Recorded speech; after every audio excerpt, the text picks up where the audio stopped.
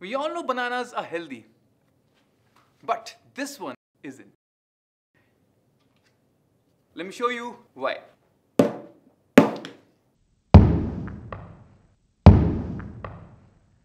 Well, it wasn't a normal banana. The banana was kept in liquid nitrogen.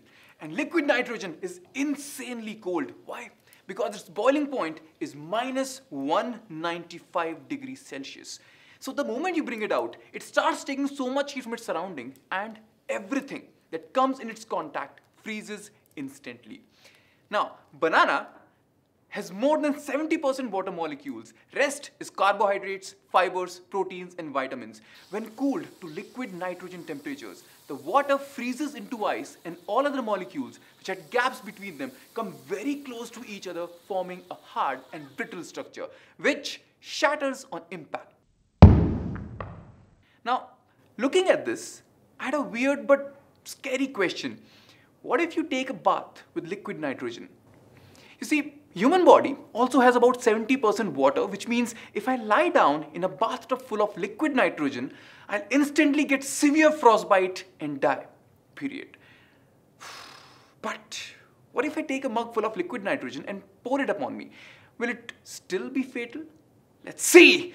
And don't try this at home. Never. So, my friend over here is going to splash liquid nitrogen on my hand. And let's see what happens. I'm ready. Wait, wait, wait. Yes, I'm ready.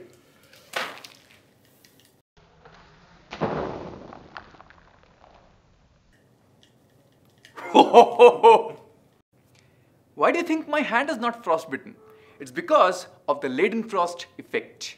It's a physical phenomenon in which a liquid close to a surface that is significantly hotter than the liquid's boiling point produces an insulating vapor layer that keeps the liquid from boiling rapidly. It's quite easy to experience. Even you can try this at your home. Heat an empty pan for some time. When it's very hot, pour a few drops of water. They'll dance around as if moving on a frictionless surface.